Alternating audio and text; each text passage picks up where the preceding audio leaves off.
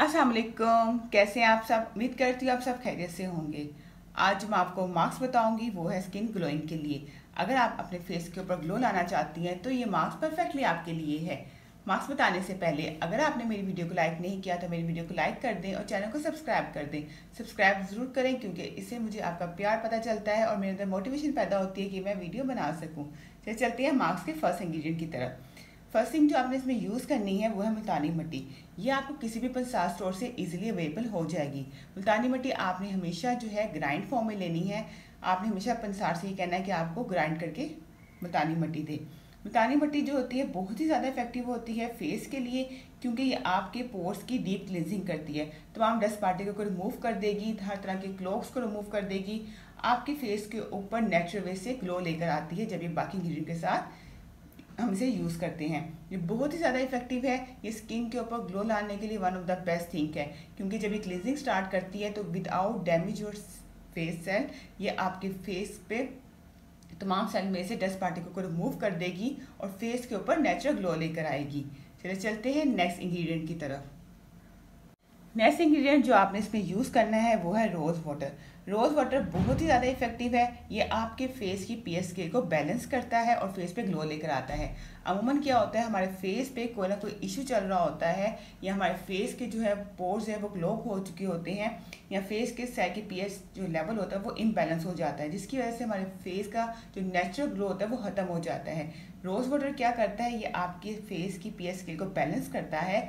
आपके फेस के ऊपर से एक्सेस ऑयल को कंट्रोल करेगा और उसको अच्छे से मॉइस्चराइज करने के बाद आपके फेस पे ग्लो लेकर आता है। ये जो ग्लो आता है, आपके फेस के ऊपर ये नेचुरल ग्लो होता है। आपको किसी भी आर्टिफिशियल चीज़ की ज़रूरत नहीं पड़ती है कि आप उसको लगाएँ और ग्लो लेकर आएँ।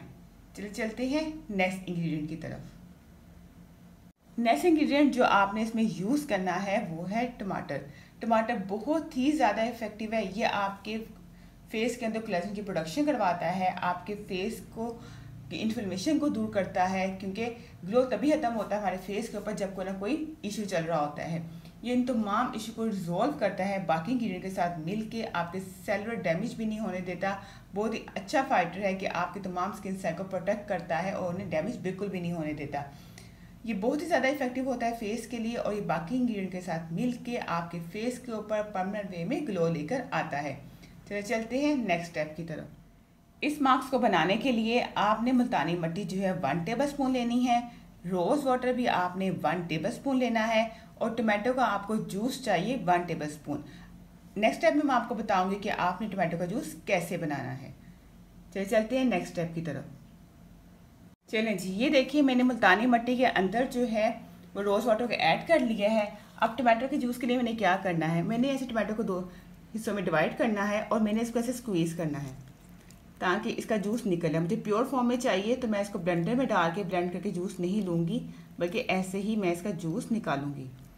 ये देख रहे हैं, आपने भी बिल्कुल ऐसे, इसी तरीके से जो है इसका जूस निकालना है और उसको ऐड करना है।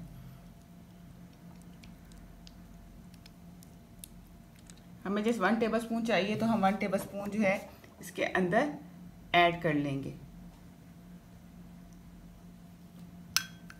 चले जी, ये देखें अगर हमें ज़रूरत पड़ेगी तो हम जो है इसके अंदर जो है जस्ट रोज़ वाटर ऐड करेंगे और इसका थिक सा पेस्ट बनाएँगे। देखिए, अभी मुझे इसके पेस्ट बनाने के लिए रोज़ वाटर की ज़रूरत है तो मैं इसके अंदर ऐड करूँगी ताकि ये पेस्ट फॉर्म में आ जाए। ये देखिए।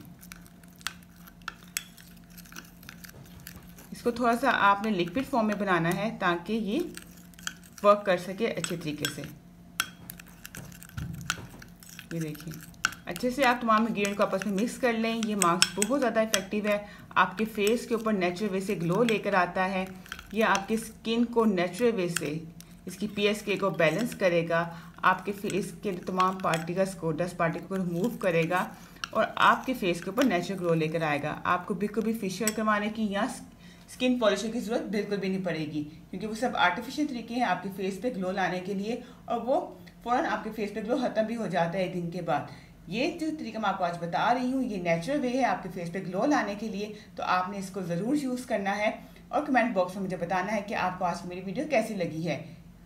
बेस्ट रिज़ल्ट के लिए आपने अपने फेस पे एटलीस्ट टू टाइम जो है इस मास्क को ज़रूर यूज़ करना है, ताकि आपके फेस से पे जो है ग्लो जो है परमानेंट वे में आ सके। अगर आपने मेरी वीडियो को अभी तक लाइक नहीं किया तो मेरी वीडियो को लाइक कर दें और चैनल को सब्सक्राइब कर दें। और अपने दोस्तों के साथ और फैमिली के साथ ज़रूर शेयर करें। इसके साथ ही मुझे इजाज़त दें। अपनी दुआ में मुझे याद रखिएगा।